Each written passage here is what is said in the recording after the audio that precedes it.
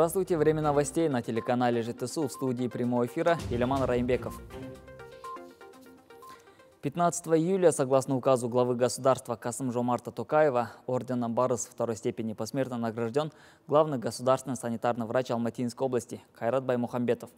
Награжден посмертно орденом Курмет и врач Центральной районной больницы Жамбылского района Бегалидин Алашбаев. Сегодня в торжественной обстановке заслуженные награды от имени президента страны вручил вдовам умерших Аким Алматинской области Амандык Баталов. Кайрат Баймухамбетов родился в 1964 году. С самых первых дней эпидемии коронавируса находился на передовой и регулярно посещал больницы, стационары, санпосты, доблестно выполняя возложенные на него обязанности. Врач Джамбылского района Бегалидин Алашбаев скончался в 36 лет. Постоянно контактировал с больными коронавирусом, переживал за каждого, работал, отдавая всего себя ради здоровья граждан.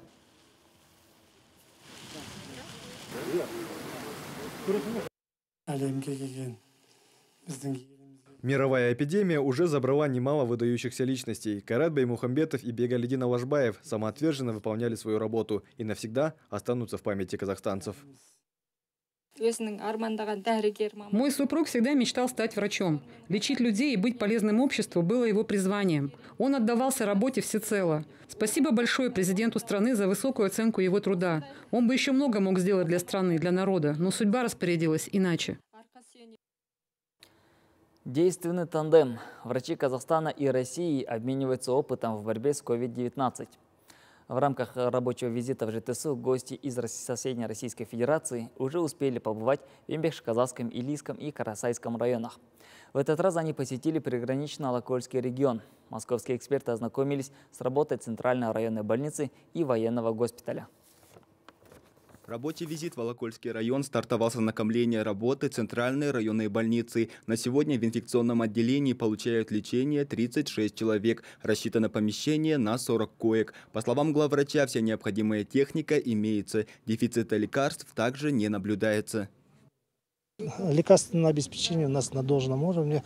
Хватает недостатков лекарств и кислородных э, баллонов нету. Все вовремя решаем. Ага.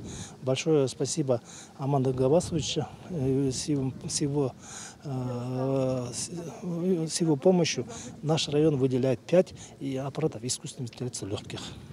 Посетила делегация и военный госпиталь в Ушарале. В период пандемии объект был перепрофилирован под инфекционный стационар. Московские эксперты внимательно ознакомились с проводимой здесь работой, начиная с места замены спецодежды, определения состояния пациентов и назначения методов лечения. Учреждение рассчитано на 120 человек. На данном этапе лечение получают 95 пациентов. Подводя некую черту, можно сделать э, вывод, что Медицина находится у вас на должном уровне. Э, как нам предоставили, создан запас лекарственных средств, кислорода во всех стационарах на ближайшие как минимум два месяца. То есть э, можно судить о том, что в достаточном количестве в настоящий момент находится всех медикаментов и инструментария. По персоналу, да, есть проблемы с дефицитом кадров, но тем составом, который сейчас работает, все больницы справляются на должном уровне. С начала пандемии в Волокольском районе были инфицированы коронавирусной инфекцией 153 человека. 74 из них бессимптомных. Они на домашней самоизоляции, а количество выздоровевших составило 63 человека. Показатель неплохой, отмечают московские эксперты. Такими темпами пик болезни будет пройден в ближайшее время, считают они. Дамир Анитов, Аблай Тупай, телеканал ЖТСУ.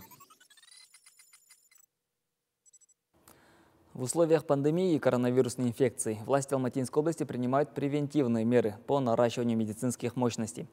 В регионе оборудуют новые инфекционные стационары, привлекают дополнительные кадры, чтобы быть готовыми к любым ситуациям.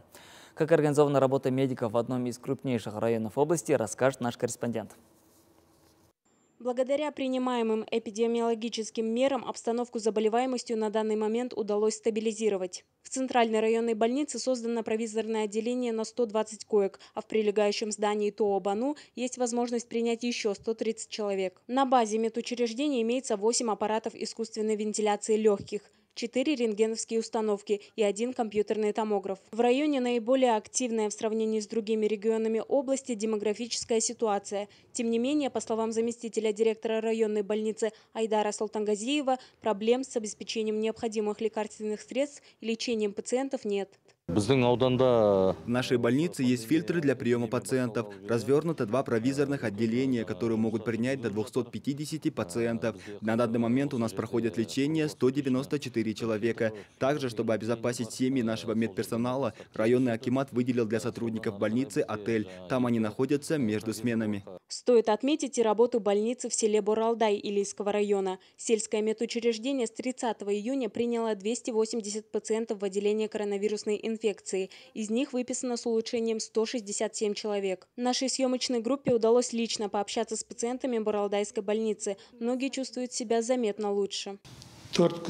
Четыре дня у меня не спадала температура тела ниже 39 градусов. Позже мы обратились в эту больницу. У меня сразу сняли рентген, определили в палату. Спасибо большое медикам за их нелегкий труд. Я сам страдаю диабетом, но здесь чувствую себя безопасно. Вчера сдал здесь ПЦР-тест. Сказали, в течение трех дней узнаем результат. Провизорное отделение больницы оснащено всем необходимым оборудованием, средствами индивидуальной защиты и лекарственными препаратами. Имеется четыре аппарата ИВЛ для пациентов с двухсторонней пневмонией. Здесь их насчитывается 54. Также есть централизованное снабжение кислородом. В марте месяце мы принимали около 50 пациентов за сутки. В последнюю неделю наблюдается спад поступающих пациентов. Для врачей и медперсонала лечебное учреждение стало вторым домом. Медики признаются, что пандемия полностью изменила привычный распорядок их жизней, но сдаваться они не намерены. В целом в Алматинской области на ликвидацию коронавирусной инфекции выделено 3 миллиарда тенге. Из них 500 миллионов направлено на закуп медикаментов, а 2 миллиарда, включая резервные 700 миллионов тенге, потратят на приобретение жизненно необходимого оборудования. Аделя Жаркенова, Ербол Атантелов, телеканал «Житсу». Продолжаем выпуск. Концентратор кислорода и более 200 противовирусных препаратов подарила коллективу областного кожно-венерологического диспансера дирекция Центральной аптеки Талдыкургана. Сейчас в учреждении лечатся 70 пациентов с диагнозом COVID-19 и пневмония. Всего имеется 80 коек. Напомним, ранее усилиями бизнесменов 10 концентраторов кислорода преподнесли в подарок областной больнице. Еще 60 планируют приобрести на следующей неделе. Их равномерно распределят по больницам Талдыкургана и близлежащих районов. Врачам терпения, здоровья и наш народ, чтобы сплотилась и вместе, что все перенесли это непростое время. Дай Бог всем здоровья. Думаю, патриоты наши, нашего города, нашей страны так и так оказывают помощь. Хотелось бы побольше, чтобы таких патриотов, которые делом доказывали, не словами, а делом. Это была вся информация к этому часу. Спасибо за внимание. Встретимся в 21.30.